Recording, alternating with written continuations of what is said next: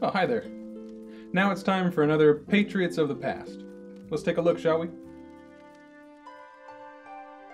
My name is Nathan Hale. I was a soldier in the Continental Army during the Revolutionary War.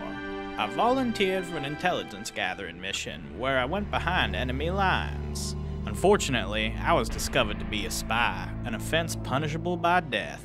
I did not beg for my life. With great composure, I spoke these last words for all to hear.